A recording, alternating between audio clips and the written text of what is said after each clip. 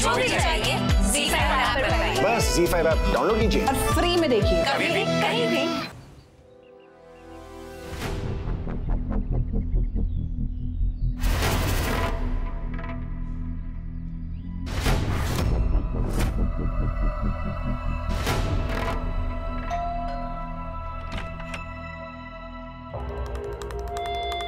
क्या है?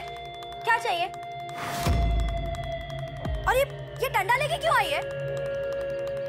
अरे तेरे मुँह में जबान नहीं है क्या? बोलना क्या चाहिए? वो बोल। अब वो, वो अब वो नयन कौन है तू? क्यों नाम ले रही है मेरे मरद का? क्या लगती है तू उसकी? आ, वो है ना मेरे वो है। वो? वो मतलब? आई शपथ सोनू ये झूठ बोल रही है। ना मेरी ये ये है ना मैं इसका वो हूँ। मैं इसको जानता तक नहीं हूँ हे भगवान अजीब कैसी बातें कर रहे हैं आप? हाँ अब मुझसे क्या गलती हो गई? आप मुझे छोड़ के आ गए? अगर आप मुझे जानते नहीं तो फिर मैं आपके बच्चे की माँ कैसे बनने वाली हूँ? याद है आपको कितनी कितनी शामें हमने साथ में बिताई और कितने चक्कर लगाते थे आप मेरे घर के?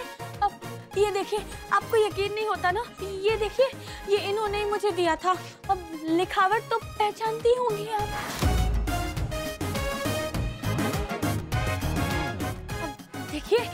ना मुझे अपने साथ रख लीजिए मैं ना आपकी बहुत सेवा करूँगी। अरे नाटक है ये सब। ये सब नाटक है? अरे काठो बेशरम। अरे मेरी ज़िंदगी बर्बाद करके तेरा जी नहीं मारा। क्या तू इसके चक्कर में पागल हो रहा है? हाँ? तेरा चाल चलन ना पहले से ही ठीक नहीं था मैं जानती थी। अरे बस रहे सोनू। मेरी बहन मुझे माफ़ कर दो माफ़ कर दो। मेरी बीवी को सब कुछ सच सच बता दो कि हमारे बीच में कोई चक्कर नहीं है। प्लीज़ क्यों मेरी बसी बसाई गृहस्थी बर्बाद कर रहे हो? माफ़ करना दीदी। मुझे आपके पति से सच उगलवाने के लिए आपसे झूठ बोलना पड़ा। सच तो ये है कि ये मुझे किसी के कहने पर रोज परेशान कर रहे हैं जिसके कारण मेरा और मेरी आई का नाम खराब हो रहा है। क्या रे? क्या कर रहा था तू? काय चाललंय सगळं? सांग मला। देखो तुम सच बोलो क्या है वरना मैं बताता हूँ बताता हूँ बताता हूँ। वो मैं ना तुम्हें पाकी को वापस लाने का काम दिया था मैंने। उसी के पैसे दे रही हूँ और उसी काम पे ध्यान दो। बस ऐसे ही प्रेशर उस पर बनाए रखना। तब तक परेशान करना, जब तक वो और उसकी माँ सड़क पर ना आ जाए। ये जो कुछ भी मैंने किया ना, वो वो नताशा मैडम के लिए किया। उसने मुझे बोला कि इस लड़की को इतना परेशान कर कि ये लड़की लड़की सड़क पर आ जाए और पूरी तरह से बदनाम हो जाए।